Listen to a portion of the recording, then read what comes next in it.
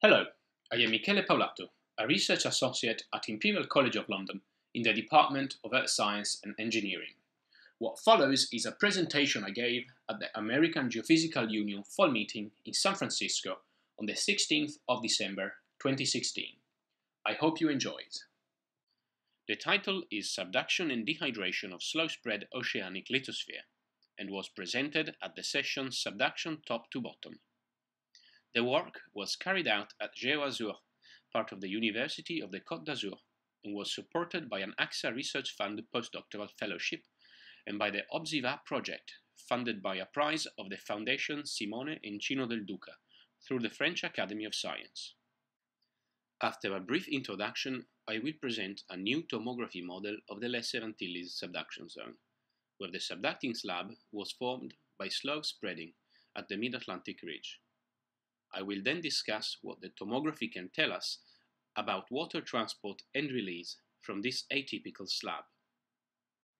Water can be stored in rocks as pore fluids in microscopic cavities within the solid matrix, or as bound water in hydrous minerals like serpentine, or incorporated in the structure of nominally anhydrous minerals like olivine. As the plate subducts, temperature and pressure increase, and most of the stored water is released from the slab, initially through fluid escape and compaction, and later through chemical dehydration. Most of the free fluids escape through the accretionary prism at shallow level. Then, at intermediate levels, it is chemical dehydration that dominates. Beneath the arc, fluids released from the slab are responsible for lowering the melting point of the mantle wedge and giving rise to arc magmatism. Since water, both in the form of pore fluid and as bound water in the structure of minerals, affects the seismic properties of rocks, we can use seismic techniques to track water fluxes in the subsurface, and particularly in subducting slabs. Subduction zones can be classified as hot or cold. On the one hand, we have places like Nankai, where a hot young lithosphere is being subducted, and the hot thermal structure causes early dehydration of the slab, shallow seismicity, in the reduced seismogenic zone.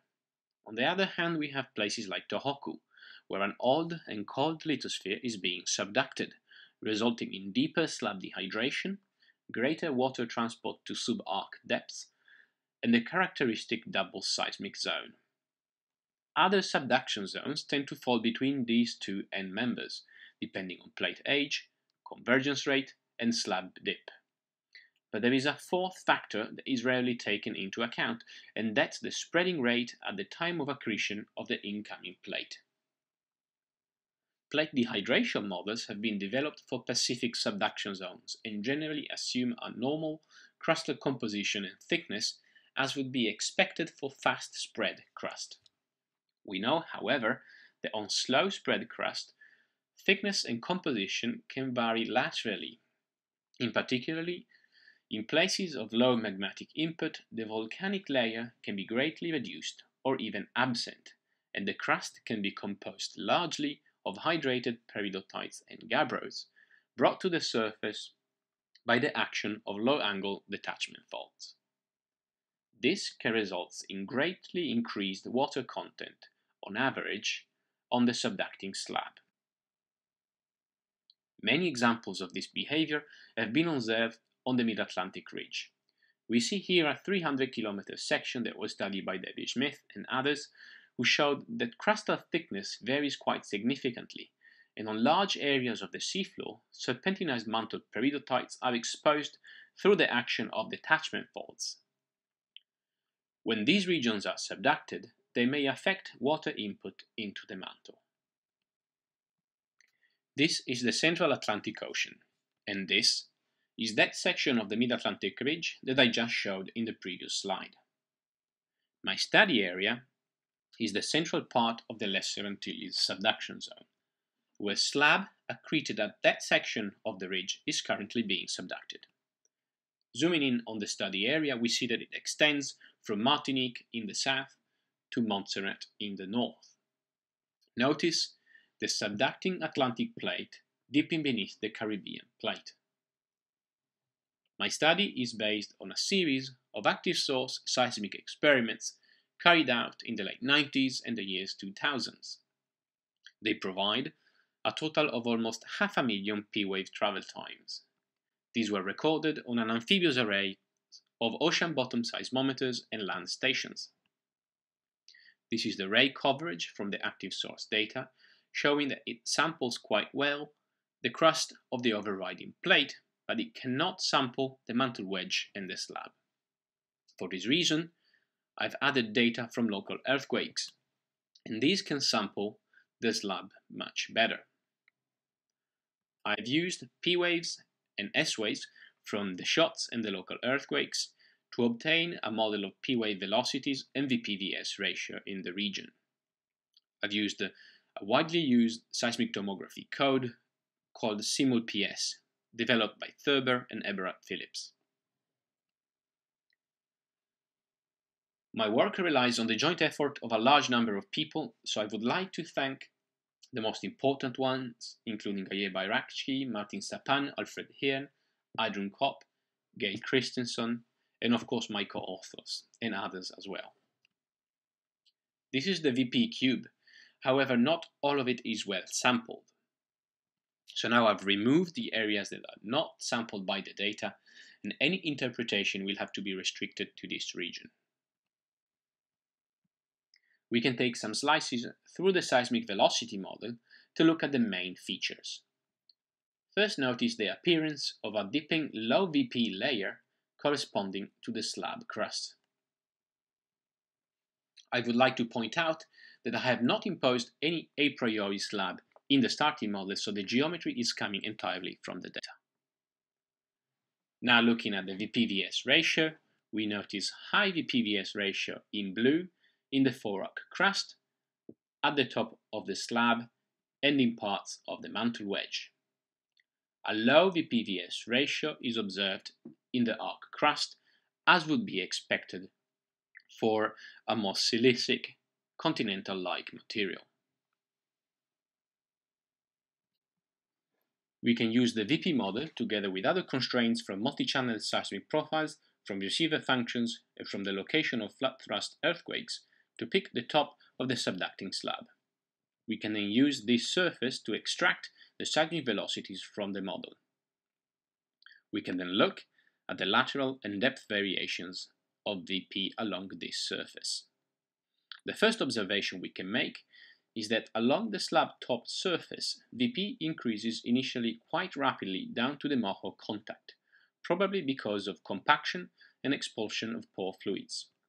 Then Vp increases more slowly, reaching 8 to 8.5 km per second at 70 to 100 km depth. So this depth is where the crustal low Vp layer fades and transitions into high velocities. This we interpret as the depth range where crustal eclogitization happens. The second interesting observation regards the distribution of intraslab earthquakes. I am showing here the distribution of earthquakes with depth, and I have separated crustal earthquakes beneath the arc from supraslab earthquakes and intraslab earthquakes. We notice that the intraslab earthquakes are particularly clustered at two depth ranges, at 50 to 80 kilometers depth and at 130 to 160 kilometers depth. A third interesting observation is that just above the shallower of these two clusters at 50 kilometers depth, we find a local VP minimum on the slab top that is elongated and laterally continuous. These three observations together, we think suggests that we are seeing multiple stages of slab dehydration. First, the crust dehydrating at 50 to 100 kilometers depth, and then the lithospheric mantle dehydrating at 130 to 160 kilometers depth. We can compare this depth with the predictions made by Van Keken and others based on the thermal models of subduction of Syracuse et al. and on phase diagrams for MORB.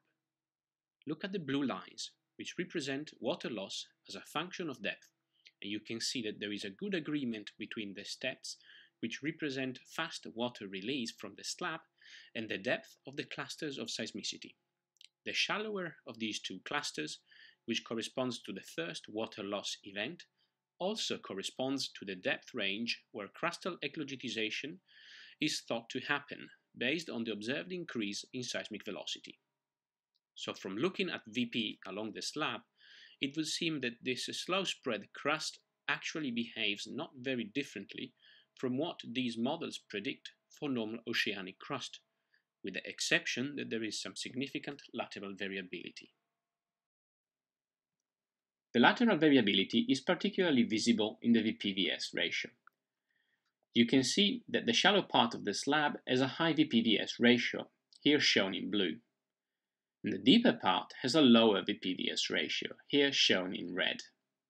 The transition between these two zones is quite rapid and is observed at 50 kilometers depth in the north and at 100 kilometers depth in the south of the study area. In the south, the transition is also more gradual. We could infer that is, there is a deeper or greater water transport in the south. A possible vector for that extra water might be a thicker layer of subducted sediments. We know, in fact, that the incoming sediments at the trench are much thicker in the south because they are derived from the South American continent and the Orinoco Delta in particular. An independent indication of greater transport of sediments in the south comes from the observation in the geochemistries of lavas erupted in Martinique of the signature of sediment melting. An alternative hypothesis is that in the south we might have an anomalous tectonized crust, and in fact here we find the prolongation of the Marathon fracture zone. It is more likely that here we would find non-volcanic crust with a greater proportion of serpentinized peridotites which can transport more water to greater depth than hydrated gabbros and basalts. David Schlaphorst and others came to a similar conclusion based on a study of the B value for local earthquakes. They concluded that there is in this region a greater proportion of small earthquakes than we would normally expect, and they attributed this to weakening induced by serpentinization or high pore pressures.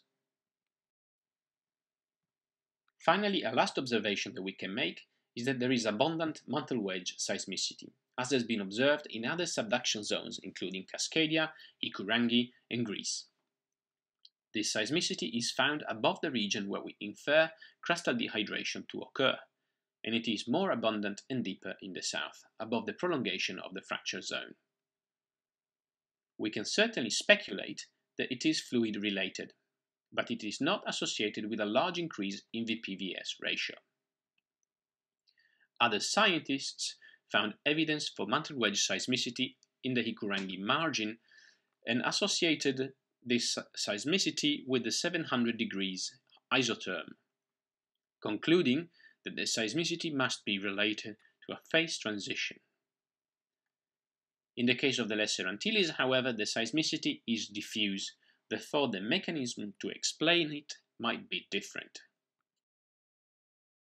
So putting all our observations together, we conclude that this slow spread slab is at least in some regions behaving like we would expect for normal oceanic lithosphere.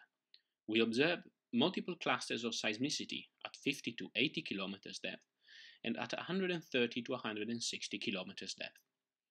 This suggests that there are multiple stages of dehydration, with sediment compaction at shallow level, then chemical dehydration of the crust before 100 km depth, and finally deserpentinization of the slab beneath the arc. The local VP minimum on the slab top at 50 km depth and its correlation with intraslab and mantle wedge seismicity suggest either rapid water loss at this level or accumulation of fluids on the plate interface, causing high pore pressures or serpentinization in the mantle wedge. There are some significant lateral variations in seismic velocities and seismicity, and we attribute these to greater water transport near fracture zones, to lateral variations in compositions of the crust related to heterogeneous accretion on slow-spreading ridges, and to variations in volume of subducted sediments. The final slide is just to point out that there are a number of other subduction zones worldwide where slow spread lithosphere is being subducted. We have demonstrated that they are likely to be characterized by significant lateral variability in water transport into the mantle. It is therefore important to quantify their effect in the global cycle of water in the solid Earth. Thanks for listening and goodbye. If you enjoyed this video, consider liking it or leaving a comment down below. If you want more science, click here to see a cool 3D animation of the Lesser Antilles lab.